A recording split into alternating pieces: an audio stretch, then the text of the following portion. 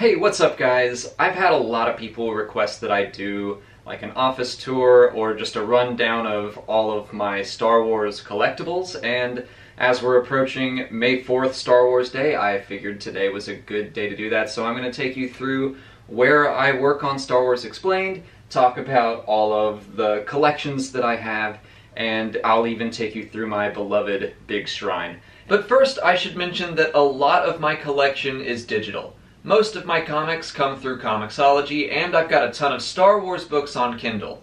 I also have quite a few digital trading cards thanks to Topps. If you've never heard of their Star Wars Card Trader app, it allows you to collect and trade over 1,000 officially licensed Star Wars digital cards that include all of your favorite characters, vehicles, and locations from the Star Wars universe. You can collect the original Star Wars 1977 set or more modern trading cards that include some really cool art.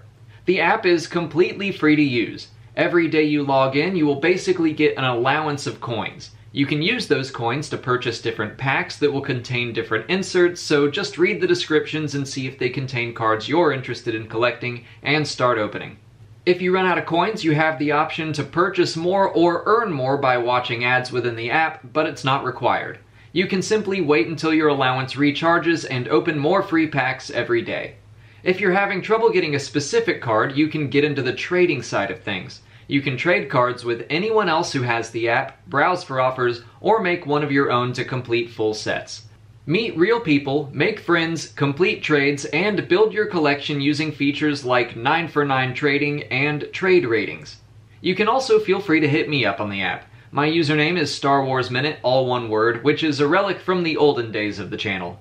I try to hop on when I can and make some trades. Thank you Topps for helping satisfy collectors everywhere, and thank you for sponsoring my own collection video.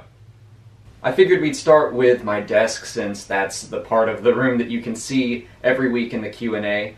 Um, you probably always noticed my Funko on the shelf up here. I try to keep them kind of relevant to whatever is about to come out in Star Wars. So we have a bunch of Star Wars Rebels, we've got Thrawn next to his Thrawn book, and we've got our sequel era characters in preparation for The Last Jedi.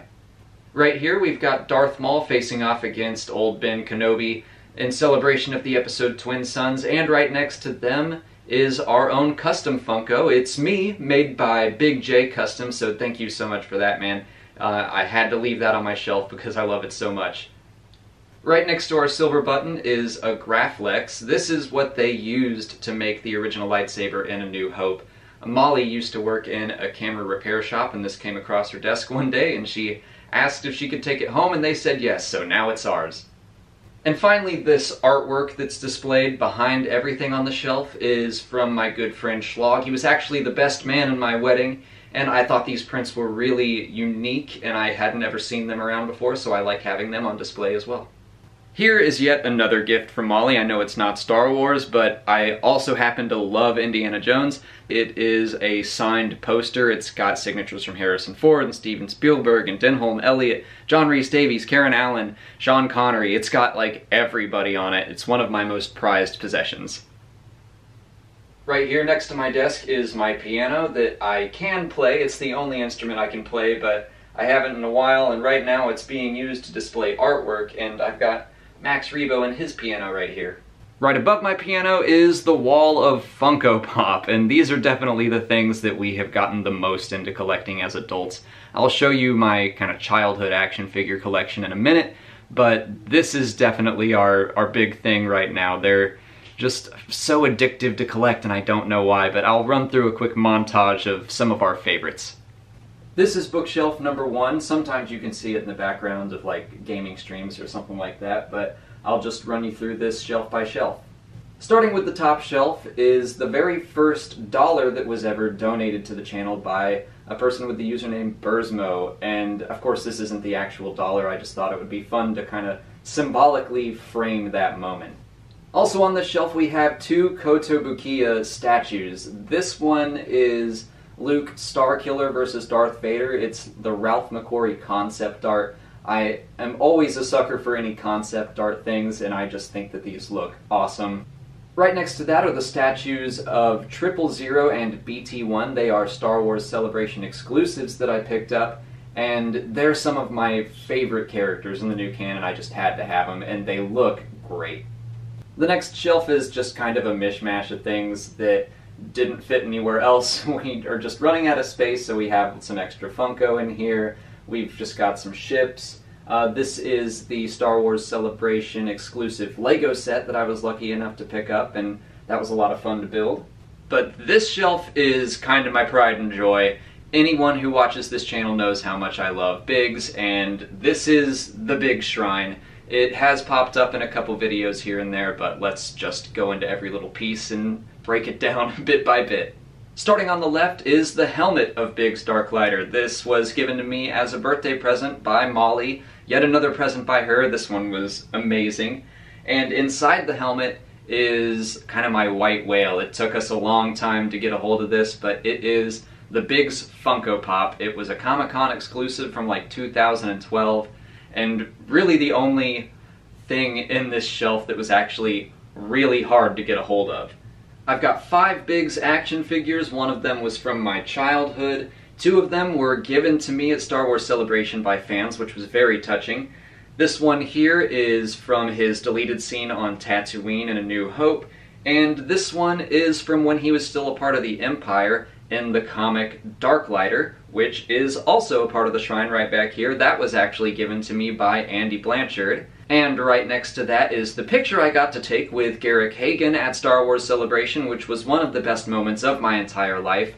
And to the right of that is the signed photograph I got at Star Wars Celebration. We also got two of the Star Wars Celebration Hot Wheels. We got two because I wanted to leave one in the package.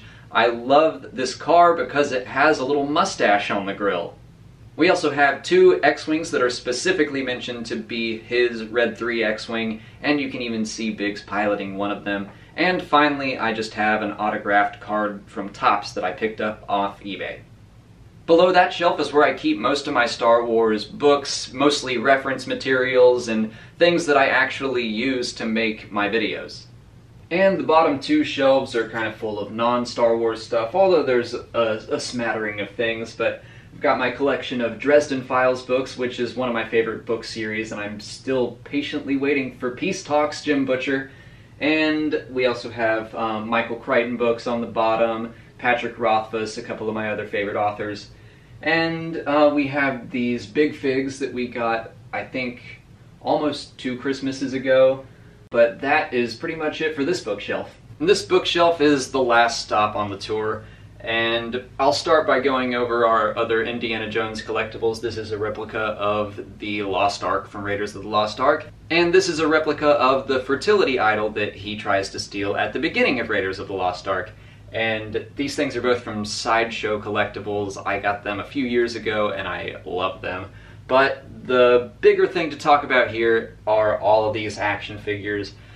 These were my childhood collectibles, um, where the Funko are what I collect now. This is what I collected back in the day. And it was kind of a family affair. Like, some of them were really hard to find. I remember Yoda and Lando, Luke, Obi-Wan, Leia, like a lot of the really ones that you think should be common were difficult to find and I remember my mom would take me around all over the place to try to find them at Toys R Us or Walmart or wherever and uh, it, it, was something that I'm very grateful for her for doing. But I think I collected these when I was around the age of 10 to 13. I remember still getting into them when The Phantom Menace was coming out.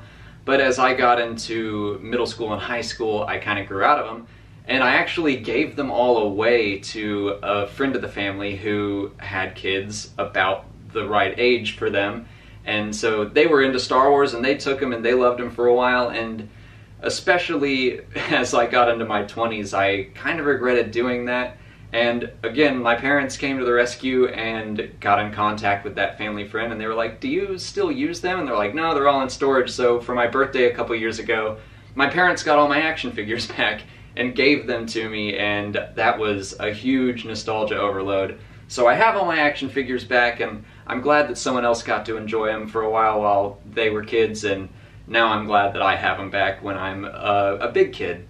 That's going to do it for my office tour and my collection rundown. I hope those of you that were interested in seeing this got a better look at where I do all of my work on the channel and enjoyed seeing some of the things that I enjoy collecting. But tomorrow is May the 4th and I have something really big planned. I hope you guys enjoy that and I hope you guys have a great day.